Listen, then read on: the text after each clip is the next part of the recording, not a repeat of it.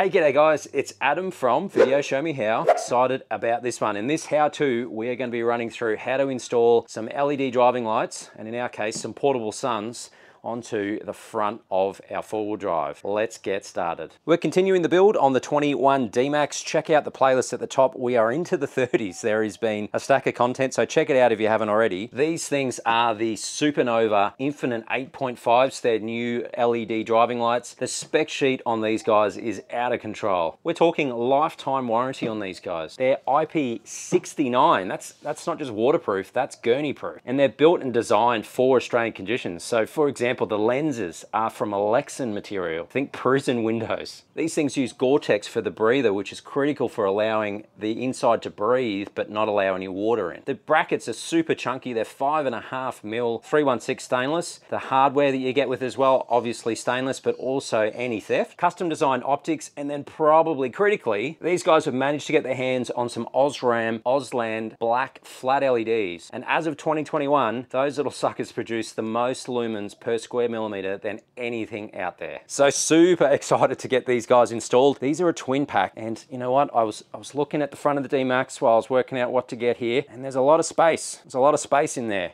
So I thought, you know what? I might need to search for ships lost at sea. So I got another one and this is the triple pack that they do. So there's gonna be three of these suckers on the front of the D-Max. Now I just wanna point out here that I paid for these myself. This, this is not a sponsored video or anything like that. If you do watch this though and go, you know what, Supernova, these are the lights that I need on my rig. It would be awesome if you could use the link that I'll have in the description of the video down below. And by using and sharing that link with your mates, it'll do two things. One, it will let Supernova know, hey, Adam from Video Show Me House Center. And two, it'll go a little way in supporting me bring out more of this content for all of you guys. But enough jibber jabber, let's get cracking on pulling these apart so we can work out how we're gonna get them installed onto there.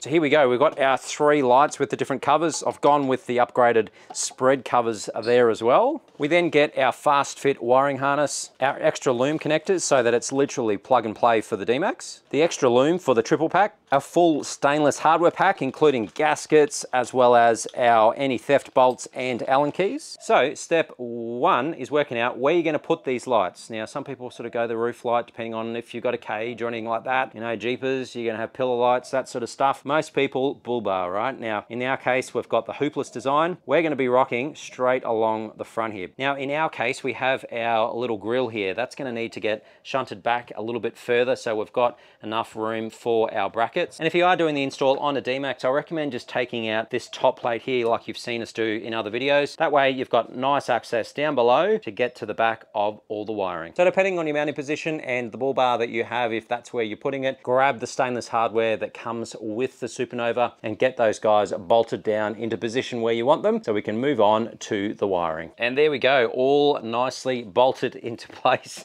what do you reckon? I, I reckon these look awesome. I, I, wanted to get something that would make the rig stand out a little bit and, and I reckon mission accomplished. I reckon those things are out of control. They look awesome.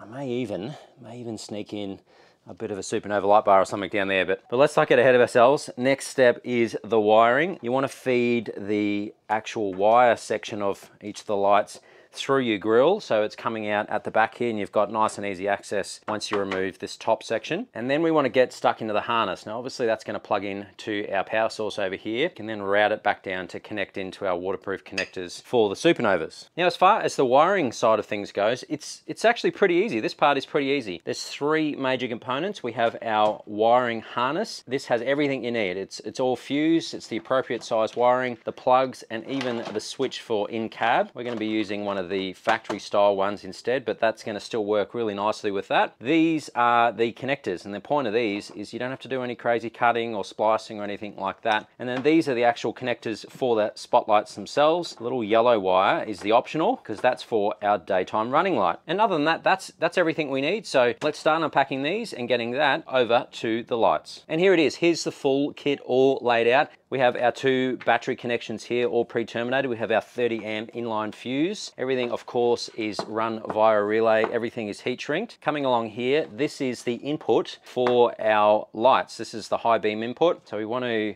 get rid of this guy because that's not going to suit our D-Max. We want to get this particular loom. This is our factory connection. And then moving along, this is the output. These are the connections to our spotlights themselves. You want to get these if you're going to be running the daytime running light. This is what you're going to need. And then those will plug straight in to the back of the spotlights. It's the same the same waterproof plug and I'll go straight into there. And then down the end here, this long bit of cable, this is what we need to send through our firewall and then install in cab to be able to switch the lights on and off. So our next step is routing and securing this loom into place. You want to use your zip ties, make sure you're zipping everything onto the unmovable parts, not the movable parts, and get everything all nice and cable managed so it's up and out of the way. I'd recommend as well while you are doing the install is just to remove the fuse from the holder. That way if you do accidentally bump anything and, try and energize the circuit, it's not going to be energized. Everything's going to be nice and safe. Now, if you are wiring in the daytime running light, these little guys in here, it's easy to do. It's easy to do to get a wire out to those, a bit of a signal wire, a little bit of a power wire. You want to come to the factory loom. Here's our factory switch. The purple wire on the back, the back of the tab section, that is our daytime running light color. This is our inline connector and it has all six of the pins that's pinned to the headlight. So it does have the daytime running light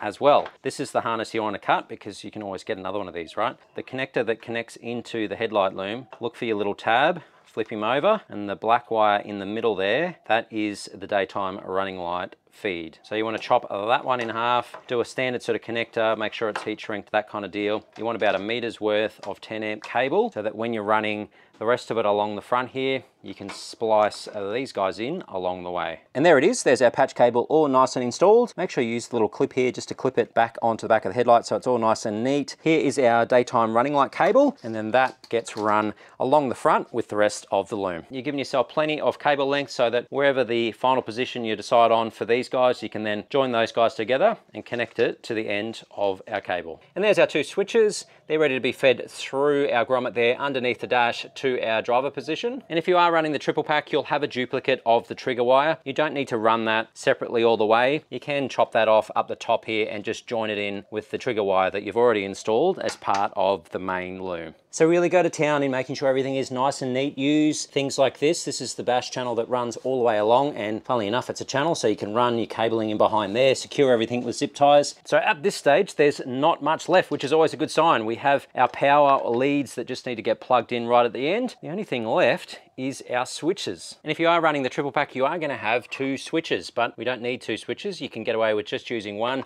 These guys literally are just sending that little bit of signal through to our relays to say, hey, turn on the spotlights, please. So you can consolidate these in the same way that we consolidated the trigger wire. And that's our next step. We wanna run our switch through our little grommet. We just want to pierce a little bit of a hole through there. You can pull the switch itself off so that it can fit through, push those through and pull it out the other side into the passenger footwell and then run it underneath the dash so it pops up over on the driver's side where we can get ready to reconnect and final position our switch. All right, doing great so far. We're on to one of the last steps, and that is organizing our switch. So you can use one of the existing Supernova switches. You just need to drill a hole that is that diameter. I'm going for that factory look, so I'm gonna be using one of these guys. But the upside of these is they fit in here. They fit exactly in the factory locations and they look like a factory switch.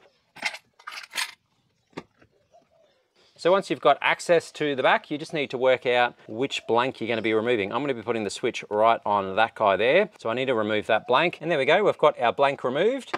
So then we have uh, this guy ready to go in its place. Before we do though, we want to sort out the wiring. Now we've already got three of the four. We have our earth and our in and out as far as our factory loom. They're simple, we just need to join those together. We've got to do something about the red one though. This is our dash light illumination. So that means we've got to plug our red wire here into a cable here that lights up when we turn our dash lights on. Now, if you've got an X-Terrain, you'll have an actual plug that sits down the back here that's also not used for anything. That's this one right in the back. If you don't have an X-Terrain, that's okay. You can still use this wire. You'll see that we have a bunch of different colors here. The one we are after is uh, the brown one. The brown one is our dash illumination. So in our case, this is a redundant plug, so we can chop out the cable that we need. If you have a switch here, and you are gonna need that, you'll just need to splice in the red wire for our switch. And there we go, that's what that should look like. You're gonna need the red to go up to that brown like we just talked about, the blue across to the yellow, the black to the black, and then the white from the Supernova to the the blue of the switch. So we're all done here and we are getting close. We've just got tidy up at the front. We need tidy up here so we can slot that into position. One-handed mode, we can slot that home until it clicks in. There we go, make sure it works fine. Then we want to plug our harness back in. Let's have a bit of a quick little test, make sure we're working. Perfect, look at that. And the same with any wiring around the pedals, guys. You wanna make sure everything's tucked up nice and neatly. Zip tie central. You wanna make sure that is all nice and safe. Once we're done there and everything is all tucked away, we're gonna head back out to the engine bay for our final tidy up before we can give these guys a proper test. And on to our final step, and that is sorting out our spider web that we've created here. You may or may not have as much 12 volt gear here. Like I said, I've got a plate coming to tidy all this up. You'll see that in a future video. But for the moment, it's a matter of tidying up your relays if you have have both or just the one. We want to make sure you don't forget your Davis silicon down there on any cut that you've made in the grommet. And then it's just a zip tie central, tidying all of this up so that it's nothing's against the engine, nice and tidy and secure over here. And then the final, final step is plugging this guy in, which means connecting it up to the battery. You've got your positive on this side and negative in this side. Get those fuses back in place. If you are using the double, make sure your 15 and your 30 fuses are around the right way. Once they're in, let's give these a test. Before we go and do the full test that I want to show you guys to see what this is like in the dark, because it's still a bit light, I'll have to film that in a couple of hours. But in the meantime, let's do a quick test, make sure they're working as designed. If we head around here, we'll turn on our parkers. And there we go, we can see there's our driving light switch in the middle there. That's turning on with everything else, so looking nice and factory. So that's pretty cool. Let's head around. Let's see if our, there's our daylight running lights. Oh, there they are, check it out. Yeah, how awesome. So we've got a couple of little, nice little subtle, that's the thing I like about those. They're just a little subtle. Yeah, I've got some lights on. It's a bit of a, a bit of a, a precursor for what's to come. So let's fire these guys up. We're on our high beams. If we get in here and press our, there's our blue, you can see. So it tells us that they're on, and are they ever? Jeez, they are definitely on. So they look absolutely awesome. They are out of control bright, far out. That looks awesome. Full rally spec, love it. Now, final part of the video is actually seeing how these perform. For me, it's not quite dark out there yet, so need to wait a couple of hours. For you though, in YouTube land, it's gonna take a couple of seconds. We're gonna take these guys out on a super dark country road, fire them up and see how they perform. And here we go, we're on the way and bam, there it is. These things are genuinely very, very bright. You can see all the way down to the end there and it gives you a bit of an idea of the spread. Here we are again, lights on and we can see just how much spread there is around. I mean, we've obviously got the, the crazy column, but check out the trees and the canopy.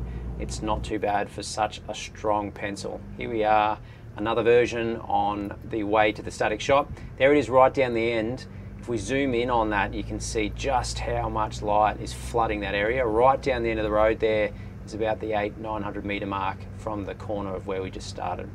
From here, we go to some static tests and you can see in this mode here, we're just talking straight parks, just the standard parks uh, that are on the D-Max, the daytime running lights. Then we flick over to the fogs. These are the fogs that are on the new bull bar that we did the install for, the upgraded ones. They're the upgraded LED fog lights. Then we flick over to the low beam, or the standard beam, I guess you could call it. They're, they're just the normal X-Terrain LED by LED uh, headlights. Then we flick over to the high beams. You can see it makes bugger, bugger all difference to the low beams. It just gives us that teeny, teeny, tiny extra bit of distance. And then, bam, there, there there's our triple pack, the Supernova 8.5s. This is not with the extra cover. We'll have a look at that in a minute. If we zoom in here, you can just see right down the end there on the bend is about 900 meters according to Google Maps. You can see just how much light there is. And there we go, the same position, the same everything else, but with those spread covers on. And you can see that does make a difference. Just past the power pole there, if we rock back before and after, you can see that there is that extra bit of spread, which is pretty cool. So if you're after that, definitely check those covers out. And here we go, just a bit of a cheeky, cheeky view of the daytime running lights with the triple lights. I reckon that looks awesome. So there we go guys, that is the real world test of the Supernova Infinite 8.5 triple pack. Now if you do want some more information about these, make sure you use my link in the description down below. That lets Supernova know that I've sent you. And also if you're there and you go ahead with anything, make sure you use this discount code right there. That way you're gonna get a bit of a discount off the total cost. As always, a massive thank you to the patrons of Video Show Me How via Patreon. Your extra support goes a long way, as I always say, guys, and I really, truly appreciate it. And that about does it for this video, guys. We have some more build on the way for the D-Max. We're not done yet. There's still more to come. If you haven't subscribed yet, consider doing so. But other than that, guys, I hope that you have an amazing day, and I will see you in the next video. Cheers, guys.